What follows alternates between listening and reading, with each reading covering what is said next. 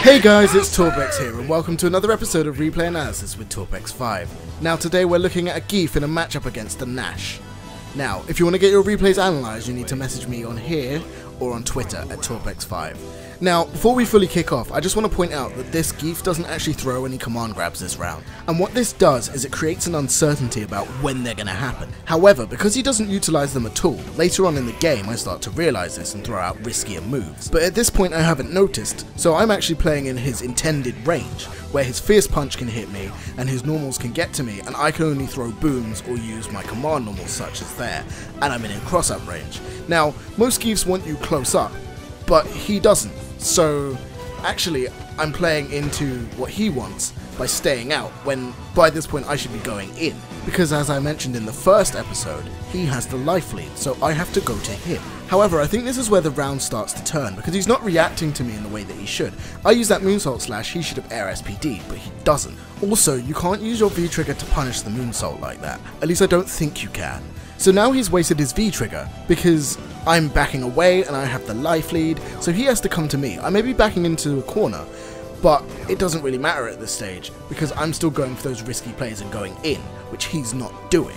So I get the chip kill here, because he decides to block my moonsault instead of making me whiff or punishing it. So I want to look at this moment and another moment off a moonsault slash, because I think he could have won at both times.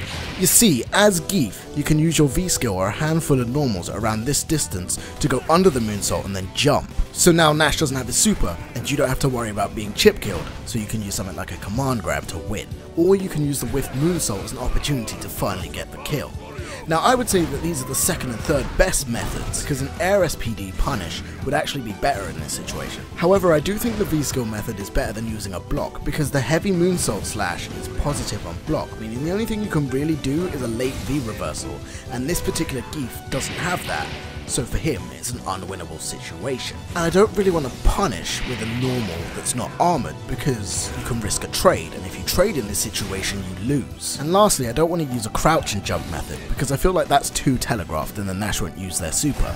Now I think the V skill timing looks a bit ambiguous so you might bait out the super more often than with a crouch.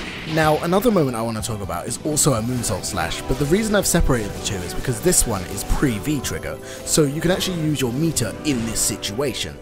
Also, because he has more health, he can afford to take more risky moves than in the previous situation. And what I mean by this is there's a more specific time requirement on this combo to get the full effect or to stop it from whiffing. I do want to point out though that the Geef would win way before most of these combos finish, so think of these as a full explanation of what you would do with more health. And you could actually adapt both of these for either situation.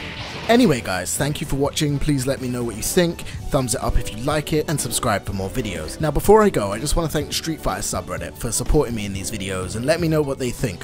Also, I want to thank the Geef player because although he didn't ask for this replay analysis, he's actually a fun and challenging player to play against. So if he's watching this, I do just want to let him know that if he ever wants to run sets with me, so just hit me up and I'll be happy to play. Anyway, personal ramblings aside, thank you for watching and I'll see you next week.